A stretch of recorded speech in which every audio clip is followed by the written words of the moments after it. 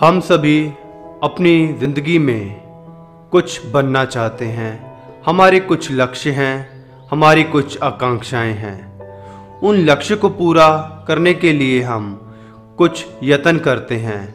पर ऐसा क्यों होता है कि कुछ दिनों के बाद वो लक्ष्य हमें बेरुखा सा मालूम पड़ता है? हम अपने उस लाइफस्टाइल से बोर हो जाते हैं जो हमने उस टारगेट को पाने के लिए अचीव किया होता है।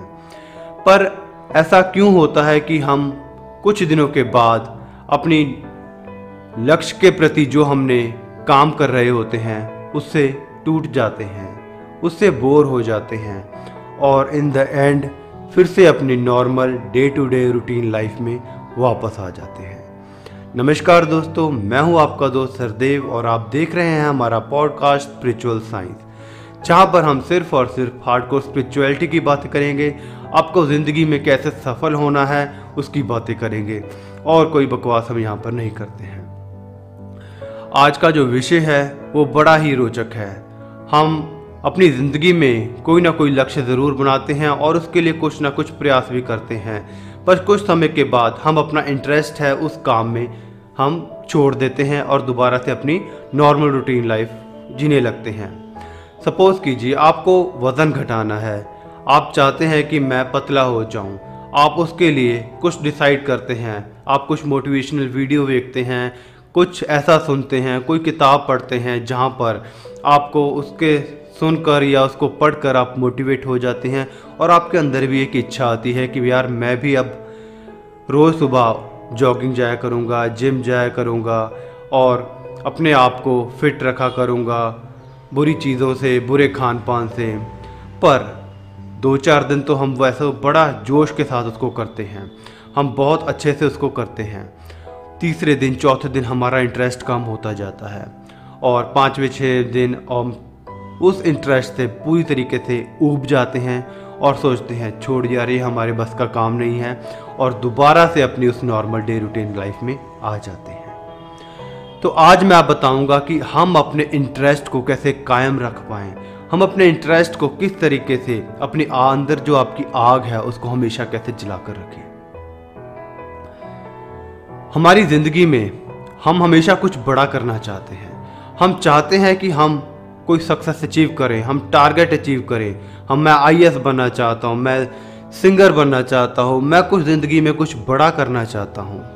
पर वो बड़ा हो नहीं पाता और फिर से हम उन नॉर्मल लोगों की तरह बिहेव करने लगते हैं। ऐसा इसलिए होता है क्योंकि हम अपने टारगेट को इतना बड़ा बना लेते हैं और अपनी जो नॉर्मल डे टू डे जो लाइफ है कि जो चीज़ें हैं, उनके प्रति हम इग्नोर हो जाते हैं। कहने का भाव है आपका जो टेस्ट है, वो बड़े दिनों के लिए नहीं है। कोई इवेंट नहीं हो रहा है। आपका जो टेस्ट है, वो डे टू डे लाइफ में हो रहा है। आप चाहते हैं कुछ अच्छा करना तो शुरुआत धीमे धीमे छोटी छोटी चीज़ों से करिए। आप रोज़ सुबह उठ के जॉगिंग करना चाहते हैं तो उसके लिए आपको रोज़ अपने डे रूटीन लाइफ में चेंज करना होगा धीरे धीरे आप सुबह आठ बजे उठते हैं तो धीरे धीरे, पहले साढ़े सात बजे उठना शुरू कीजिए। साढ़े सात बजे उठते हैं तो सात बजे उठना शुरू कीजिए। उठते ही जॉगिंग पे मत चले जाइए। धीरे धीरे अपनी एक्सरसाइज को बढ़ाइए। हम जिम में भी जाते हैं। मैंने कई लोग देखे हैं इवन कि मैं खुद। दो चार दिन गया, बड़े ज़ोर शोर के साथ मैंने जिम मारी और तीसरे चौथे दिन अपना शरीर इतना ज़्यादा दर्द करना शुरू करता है कि पाँचवें छवें दिन हम बोलते हैं कि यार ये हमारे बस की बात नहीं है। धीरे धीरे शुरुआत कीजिए।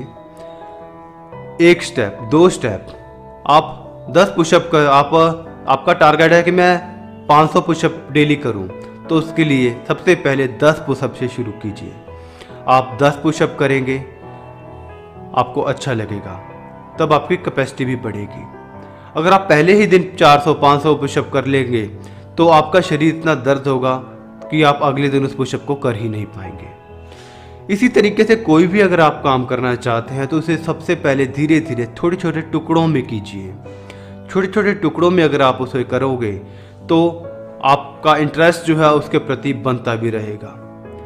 यूट्यूब की मैं बात करूँ, कई लोग क्या करते हैं कि मैं यूट्यूब में एक ही दिन में दस वीडियो बना दी, दस पंद्रह वीडियो बना दी और उसको अपलोड कर दिया।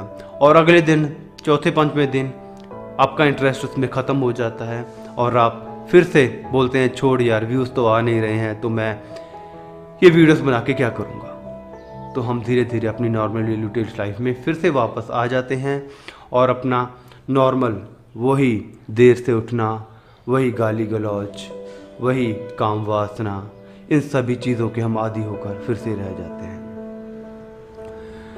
अब मैं बात करूँगा कि इन आदतों के प्रति आपको कैसे सजग होना है। अवेयरनेस बहुत बड़ी चीज़ होती है। अगर आपको अपना लक्ष्य बनाना है तो अवेयरनेस बढ़ानी होगी।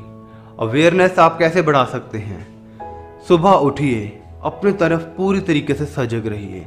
आप सोचिए कि मैं हाथ भी उठा रहा हूँ तो आपको पता होना चाहिए कि ये मेरा हाथ है, ये उठ रहा है। अगर आप पैर भी हिला रहे हैं तो आपको पता होना चाहिए आपका पैर हिल रहा है। आप अपनी ज़िंदगी में इतने ज़्यादा अवेयर हो जाइए कि आपको उन सभी चीज़ों के प्रति आपकी अवेयरनेस बढ़ जाए। छोटी छोटी चीज़ें। आप